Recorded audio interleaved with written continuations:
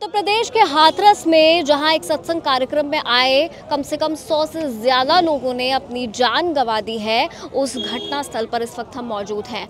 और इस वीडियो में हम आपको वो चार कारण बताएँगे, जिसकी वजह से ये भगदड़ मची और जिसकी वजह से ये जाने गई हैं। सबसे पहले आप घटना स्थल को ज़रा ध्यान से देख लीजिए। सबसे पहले आप मेरे पीछे का ये मंजर देखिए। क्या इस जगह को देखकर आपको लगता है कि यहाँ कोई भी किसी भी तरह का कार्यक्रम आयोजित किया जा सकता है और वो भी तब जब आपको पता हो कि इस कार्यक्रम में आने वाली संख्या दो से ढाई लाख लोगों की हो सकती है।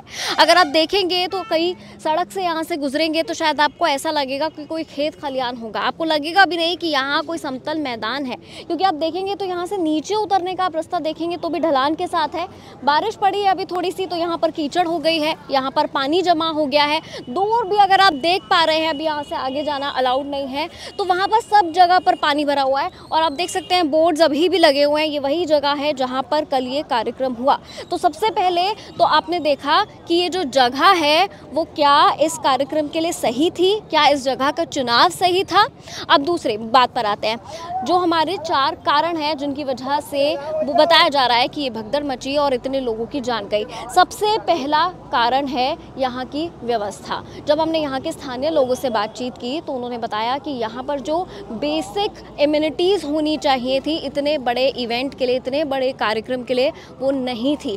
यहाँ पर एक एंबुलेंस तक मौजूद नहीं थी, यहाँ पर कोई फायर ब्रिगेड की गाड़ी मौजूद नहीं थी। यहाँ पर वो तमाम सुविधाओं की कमी थी जो किसी भी एक इस तरह के इवेंट में होनी चाहिए। चलिए, दो से ढाई लाख लोगों का अनुमान नहीं था, लेकिन अस्सी हज़ार लोग तो थे। लेकिन उनको कैसे डील किया जाए उनके साथ, या भीड़ में अगर वो तब्दील हो जाते हैं तो उनको कैसे संभाला जाए, उसकी कोई तैयारी नहीं थी। तो यानी कि सबसे पहली गलती थी व्यवस्था। आपको यही नहीं मालूम था कि कितने लोग आने वाले हैं और जब इतने लोग आ गए तो प्रशासन से भीड़ नहीं संभाली गई। दूसरी गलती थी यहाँ के जो आयोजक थे कार्यक्रम की उनकी।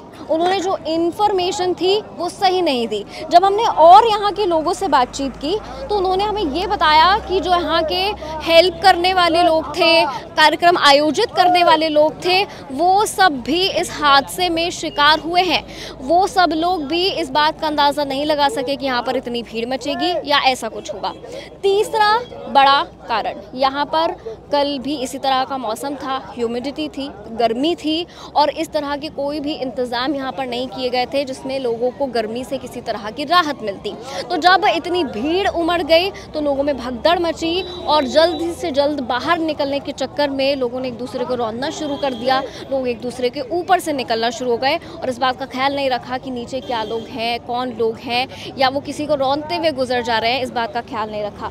अब बात करेंगे हम चौथे कारण की, जिसमें छोटे छोटे कई सारे कारण हैं और जो एक्चुअल वजह है लोगों के मरने की। एक और लोकेशन मैं आपको दिखाती हूँ। आपको लगेगा कि हम किसी और जगह शायद से जा रहे हैं, लेकिन ये पूरा मैदान और इसके साथ बीच में ये सड़क और इस सड़क के पार मैं आपको अपने कैमरा पर्सन के साथ लेकर जा रही हूँ वहाँ पर। और चौथे और सबसे बड़े कारण की गवाही दे रहा है ये मंजर।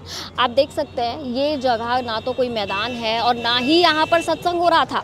लेकिन क्योंकि वो पूरा मैदान भर चुका था, इसीलिए लोगों ने बाबा के दर्शन के लिए यहाँ पर इकट्ठा होना शुरू कर दिया। आप देख सकते हैं, यहाँ पे क्राइम सीन का बैंड लगा हुआ है और बताया जा रहा है कि यही वो जगह है जहाँ पर एक्चुअली लोग गिरे और उसके बाद लोग यहाँ पर दबना शुरू हो गए। तो जो चौथा कारण था, वो एक्चुअली यहाँ के जो लोग हैं, उसको बाबा को बता रहे हैं और वो कारण इसलिए बाबा को बता रहे हैं क्योंकि वो कह रहे हैं कि बाबा ने अपनी गाड़ी को जानबूझकर उस रास्ते से यहाँ तक घुमाया और लोगों के मन में ये भावना थी कि जहाँ से बाबा गुजरते हैं, वो मिट्टी पवित्र हो जाती है, उसको हम ले जाएँ अपने साथ, उसको हम अपने पास रख लें और बस उसी के लिए लोग उस मिट्टी को उठाने के लिए झुके। लेकिन क्योंकि यहाँ पर इतनी कीचड़ थी, आप देख ही सकते हैं कि किस तरीके का अभी भी यहाँ पर हाल हाल है।